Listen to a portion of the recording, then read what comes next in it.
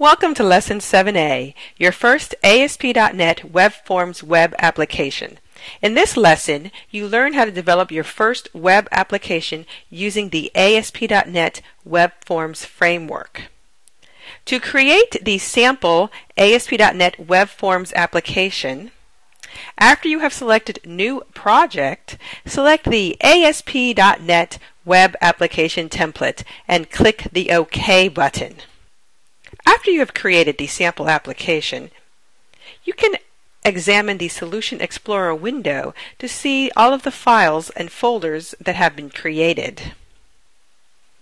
Each web form is actually comprised of three separate files. The ASPX file contains the HTML for the web form. The ASPX.cs file and the ASPX.designer.cs file are both files that contain C sharp code.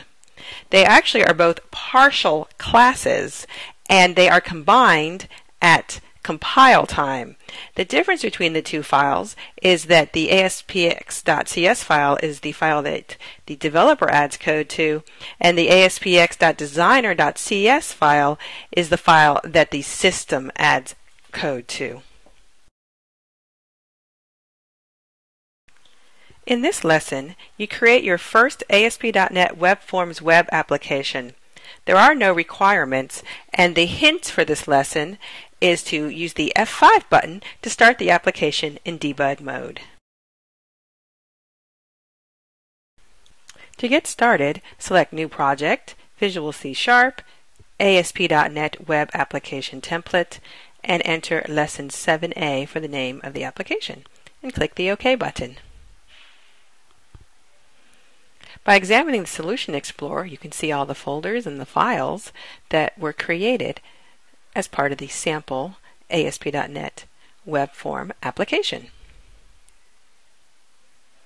You can see that the About web form is comprised of three files, and the default web page, which is the home page, is also comprised of three files. This is the partial class used by the default.aspxcs page, and this is the partial class used by the default.aspx.designer.cs page. And they're combined at compile time. Click the F5 button this is the home page for the sample application. This is the About Us page for the sample application. And this is back to the home page by using the tabs.